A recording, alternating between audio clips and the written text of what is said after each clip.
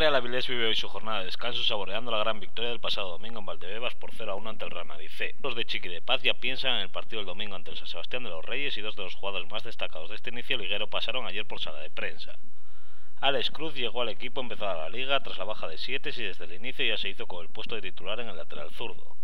demostrando sus grandes cualidades y demostrando el porqué de su fichaje. El otro es Miguel López Cedrón, que fue el que inició la jugada clave del partido con un pase a Naya que acabó en la expulsión del defensa madridista Derek.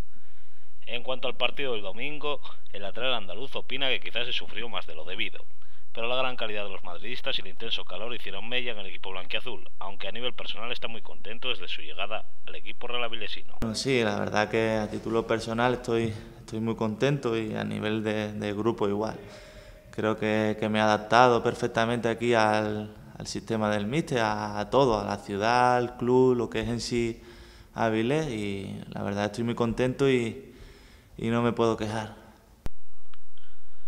Miguel está a un nivel superior que el año pasado en tercera, y eso a pesar de que prácticamente no tuvo pretemporada debido a una lesión. El espigado delantero está encantado con el inicio liguero y a nivel personal también tiene muy buenas sensaciones. Sí, la verdad que estoy contento, ¿no? Creo que, que bueno, eh, con ella es fácil porque es tan rápido que cualquier pase que le des eh, te lo hace bueno y, bueno, sobre todo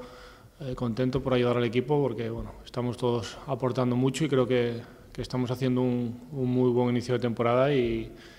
bueno, todo lo que, lo que sumemos ahora va a ser importante de, cara al futuro y sobre todo ilusionando a la gente que es, que es lo que más alegría nos da. Los dos también coinciden en la gran importancia que tiene la afición en este arranque liguero ya que los dos desplazamientos a Zamora y a Madrid los jugadores se sentían como jugando en el Suez Puerta. La verdad es que, bueno, estos, partidos no te sientes futbolista, no te sientes querido por, por tu afición, porque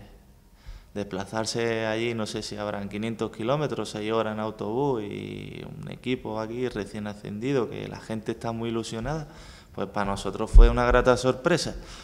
y joder, salió perfecto porque le pudimos dedicar la victoria a ellos. Sí, la verdad que eso es una, una alegría muy grande, no solo podemos tener palabras de elogio porque bueno, eh, ya llegar ahí y ver toda la gente que hay y bueno, creo que si,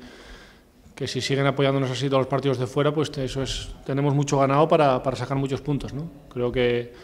que bueno, eh, salimos con un plus más, sabiendo que no les podemos decepcionar, que se ha hecho la gente, pues bueno, eh, le cuesta dinero, le cuesta tiempo y, bueno, eh, de momento muy contentos porque los dos viajes han, la gente ha venido contenta para casa y ahora intentar el domingo volver a sumar otros tres puntos para, para mantener al equipo en todo lo alto. El equipo volverá mañana a los entrenamientos en el muro de Zaro. Ayer a última hora se confirmó que el extremo Emilio estará al menos dos meses de baja debido a su fractura en la tibia. Chiqui también tiene las dudas de Gerardo y Abraham con problemas musculares, aunque ambos son recuperables para el domingo, aunque el cuerpo técnico no arriesgará. Recordar que hoy ya se ha comenzado a vender las entradas en la tienda oficial del club con la campaña Llenemos el Suárez Puerta. Las primeras mil entradas tienen precios populares de 5 euros en José Cueto y Juan Ochoa y un simbólico euro en Rotonda.